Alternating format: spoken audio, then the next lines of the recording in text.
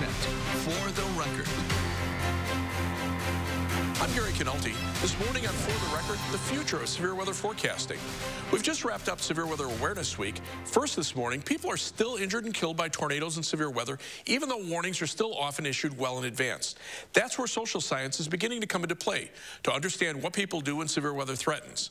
I spoke to Dr. Kim Klockow McClain, a meteorologist and social scientist with the National Severe Storms Laboratory in Norman, Oklahoma, who studies how the public responds when the weather turns severe what I'd like to ask you is the the effects on on society and how people react to warnings. Because obviously, if we change the way that warnings are being issued or or how they will follow along storms, um, and right now it seems like we we still seem to have a problem for whatever reason. They they they either don't get the information or they don't take the proper people to do the right thing. That is really the cutting edge of the science that people like me, people who work in behavioral sciences, who explore how people make decisions under conditions of, of risk, you know, and uncertainty, um, something that we can all sympathize with now living through this pandemic, right? Um, there, there is just a lot of complexity to these decisions. And what we are coming to understand is to make those choices, people have to receive the information. They have to be aware that there's a threat they need to you know attend to.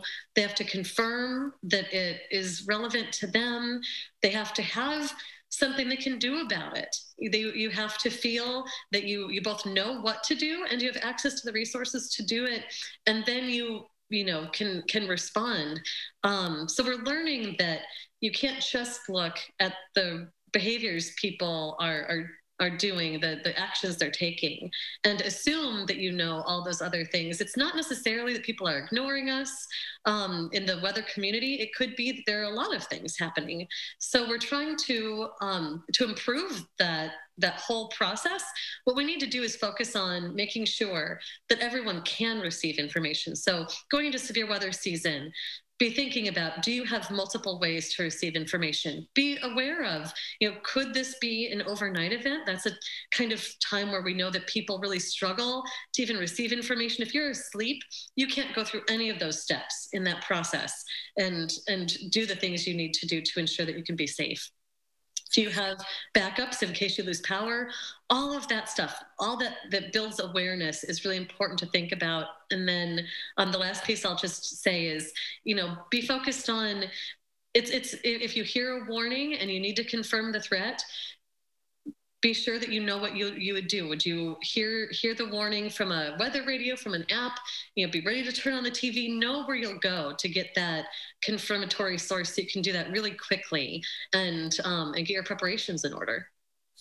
We find that uh, that things like the, the people are depending on one type of technology more than another, like no weather radio as opposed to uh, their their cell phones or an app uh, or, or sirens even. I think you'll be pleased to hear this as a broadcast meteorologist. With severe weather warnings, what we find is that people typically access several different information sources. They might find out one way, like through the siren, alerting them that something's near them in the environment. They might be alerted by the fact the wind is picked up and they're really attuned to the environment.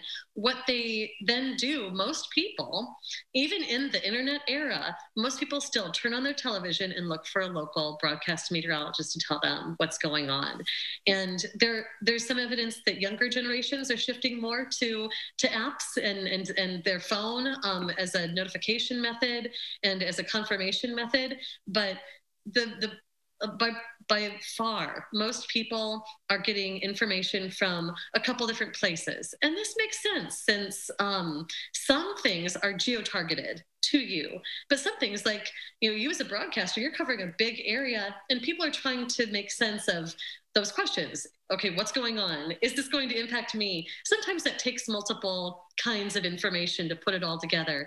And when I've gone in after severe weather events and, and interviewed people who are survivors, I've always come away impressed with just how um, just how much people are able to to seek information from multiple sources. I think it's a really really good thing.